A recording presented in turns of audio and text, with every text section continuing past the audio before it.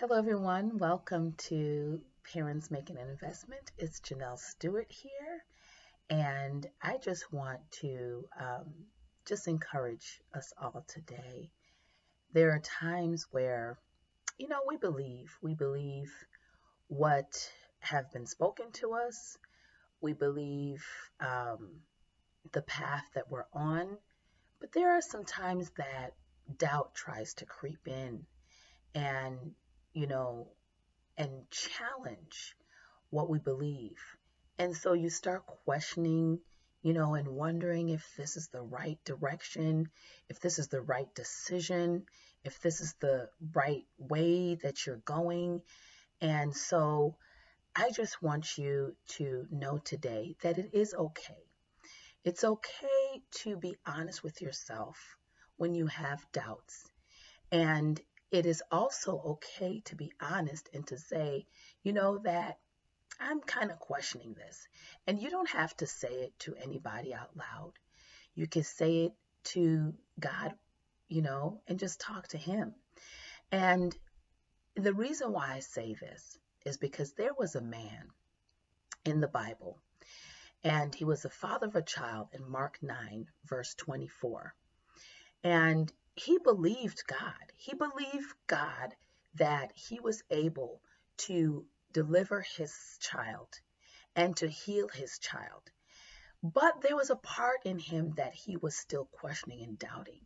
And he asked God, and he said, Father, I believe. Help my unbelief. And so sometimes we get in that doubtful place. And I just want you to know today that you can say it to God. God, I believe what you've spoken to me.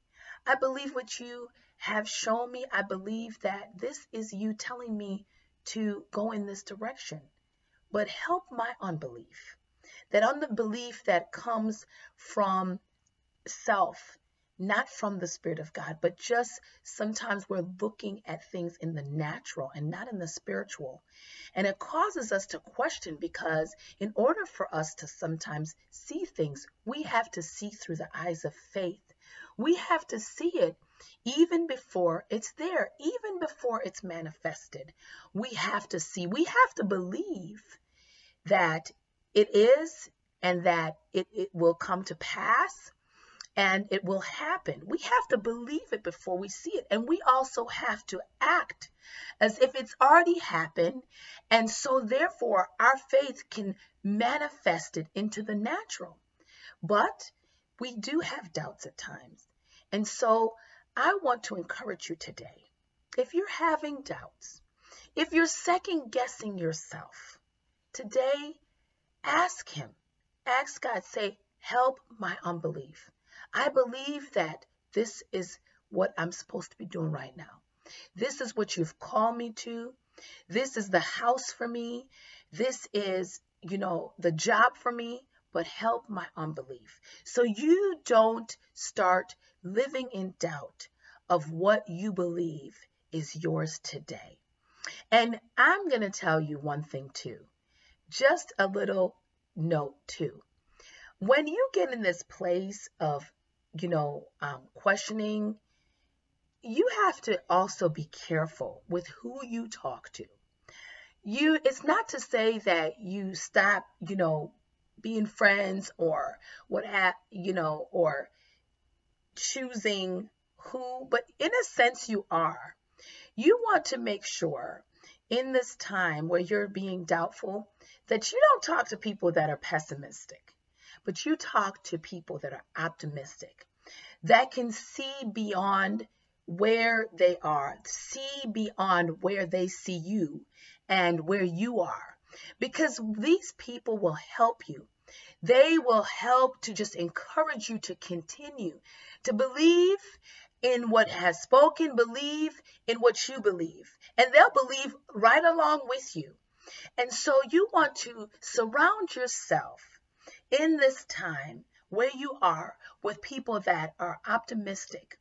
And they will help. They will hold your hand and they will encourage you when you feel discouraged, when you are having doubts. They will come along and encourage you.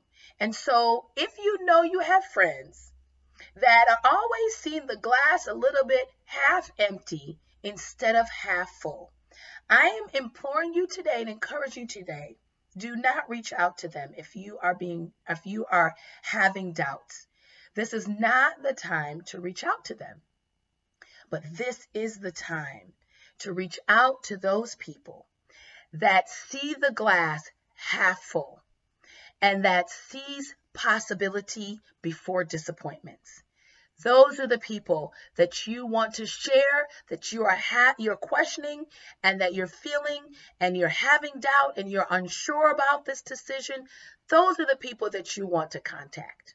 Believe me, because they're not going to discourage you from what you already started to do. They're not going to d- deter you from what you have spoken to them and you believe that is what you're supposed to be doing right now, is what is for you right now. They won't do that. And so those are the people that you want to text, call, connect with in your season of being doubtful. And tell yourself that all things are possible. And it is for you. What is for you is for you. And so help my unbelief, Father. I believe, but help my unbelief. So today, Mark 9, verse 24.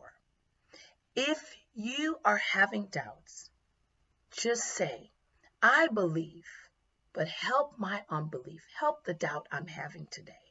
So you can rise up and continue to see the path that you are on. And even in this cloudy moment, that there are possibilities and there is a light at the end of the tunnel.